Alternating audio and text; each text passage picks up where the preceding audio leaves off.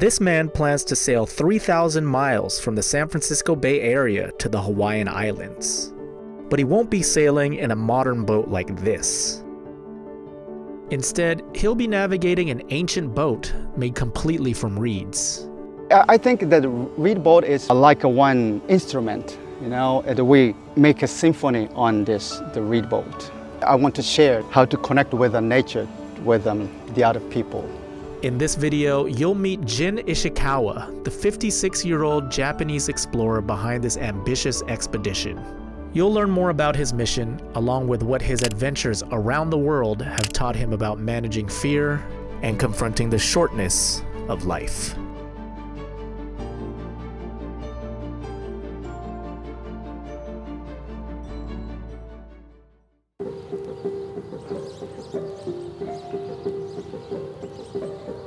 Where does this uh, appetite for adventure and exploration come from? I, I love stay in the middle of the nature and connect with the nature.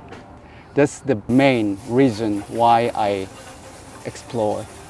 Jin has been wandering and exploring the world for nearly 40 years. Like most solo travelers, he started out with just a backpack, nomading for two years around North America, Africa, and India as a young university student. This first journey was transformative for him. Seeing different people in different parts of the world live different yet meaningful lives prompted him to question his own assumptions about living a fulfilling life. I educated in Japan.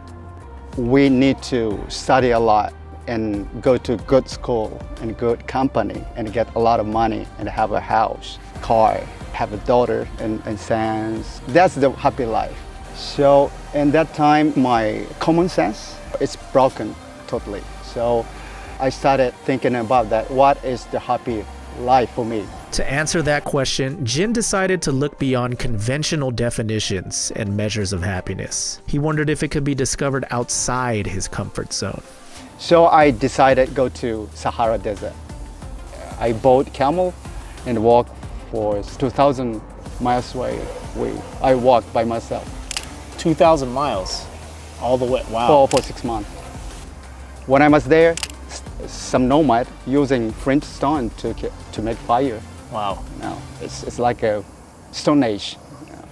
It was like very primitive. Very, very it's like primitive. back, back, it's just back to like the origins of yeah, humanity. Yeah. Yes, yes. I don't have um, not, not too much things and only uh, sleeping bag, you know, minimum life. Those six months in his very first expedition taught Jin a lot. But of all the lessons he learned, the most important one was about the value of solitude. Most of the time I was lonely, you know, just me. That made me the chance to communicate with nature because I feel loneliness in, in the middle of the desert. So I started talk with uh, the beetle, camel, and trees.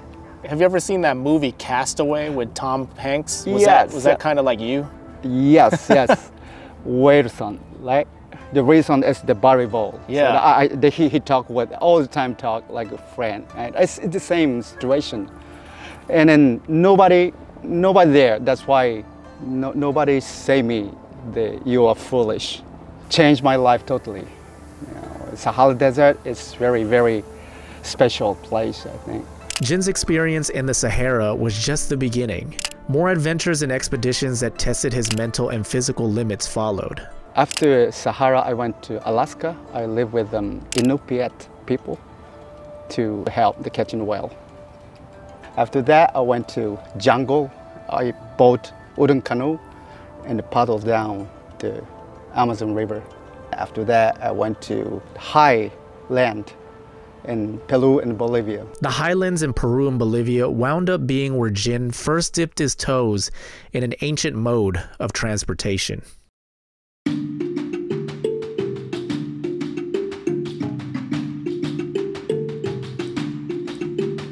Reed boats are among the oldest types of sea vessels on Earth, their use dating back to ancient civilizations in the Middle East and in South America. When I was at Titicaca Lake, I want to use the local vehicle. I and another friend to try to go around the Titicaca Lake with a tule boat.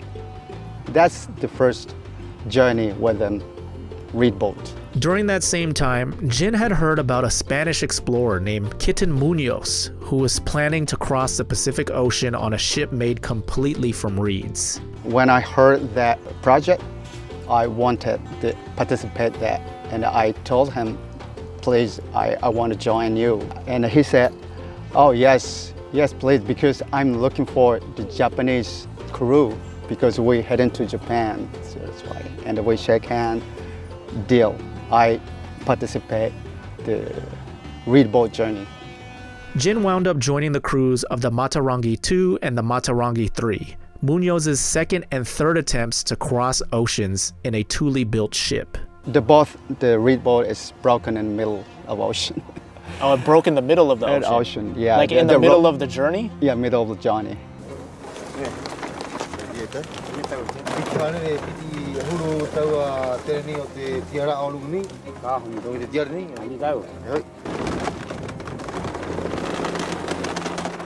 Las cuerdas se rompen por todos lados. El casco se debilita bajo el peso de los mástiles que se clavan queriendo penetrar en él. And we started drift and arrive one island. I'm Polynesian island. We, we survived, but it's very, very, it's very strange uh, Uh, navigation.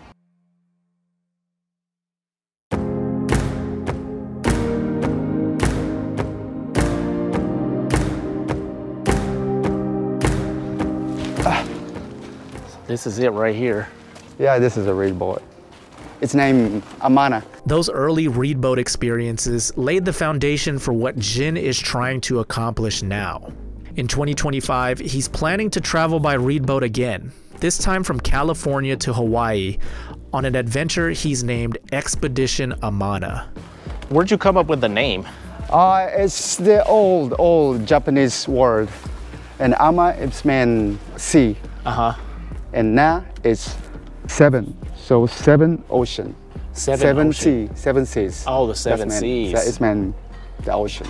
He estimates that the journey will take around 45 days, since his ship will only travel at a speed of 2.5 knots. For reference, that is the walking speed of an average person. The journey is very beautiful. You know, it's, it's like um, we ride on the time machine and go to the ancient time. And we want to share how is how to connect, how to live with the nature. You know, like like ancient people. The longer boat is going to be 60 feet, correct? 60 feet, yep, around. Okay. Jin's boat is based on a design from the Pomo, a tribe of indigenous people who've historically lived in the Clear Lake area of Northern California close to 12,000 years. From here, about 200 miles away, and there is many indigenous people living around the lake. So they're still now making the Tule boat. This boat that Jin showed me is only a prototype of the one he plans to use in 2025. His boat is made from tule grass from Clear Lake along with drywood from Ukiah. Is this area right here that you're leaning against? That's like the steering, Steer, yeah, it's a uh, rudder. the rudder. Rudder, okay. yeah, rudder. It's double rudder. It has um rudder board underneath. Hold it, it's very small, Oh, this. isn't it? Oh, yeah. Based on his previous experiences, Jin is aware of the risks of his expedition, which is why he has contingencies in place in case something goes wrong. He told me that there will be a support boat trailing the Amana about 3 to 4 miles behind. That distance, he calculated, is close enough to call for help if there's an emergency, but far enough to minimize modern distractions and conveniences. One for emergency. Oh, yeah, like a flare. Yeah, yeah, yeah. And then I see that you have paddles here too. yep. Are you going to have paddles on the bigger boat? No, no, no. We, we couldn't paddle because 60 feet is it's very big. It's, Yeah. it's- we couldn't control with paddle. Mm-hmm. The boat was built at Galilee Harbor, a member run cooperative comprised of a community of artists as well as maritime workers in Sausalito. Where did you get these? Like the anchor, was that donated or did you, Yeah, did you purchase this that? uh, this community they Okay. help us a lot. You know, Yeah. The one guy Ted, uh, they borrow us. They using this. Right. Yeah. Gotcha. Many, many volunteer and many helps.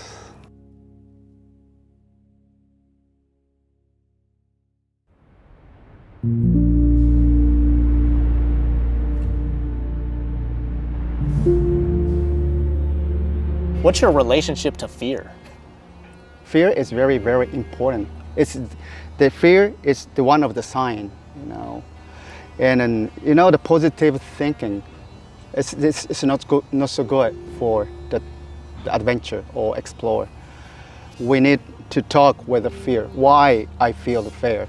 The, the fear always teach me, they tell me what I need to do. I think that adventurers like Jin, who push their physical and mental limits of what's possible, help us to see what our fears for what they truly are imaginary specters of a future that hasn't been written yet. In the presence of fear, there are really only two ways we can respond. We can either let it sink us, or we can choose to be brave and just swim. How did you learn to have a good relationship with death? I know, so many people don't- like they're always like people don't even like to talk about dying because they're just Yeah, so I know, I know. it. Because they they afraid that they, they don't know what is that. But I I know what is a death because I, I have experience to feel that. People the feel the death is like this big, but really the size is like this. Death is it's like a sign to where I need to go. Swimming with what scares us isn't fun. It isn't comfortable, and it isn't easy. But having the courage to swim, that can often be the difference between having our lives count for something or living a life full of regrets. That's why I, it's, the death and fear is, is good friend for me, very kind.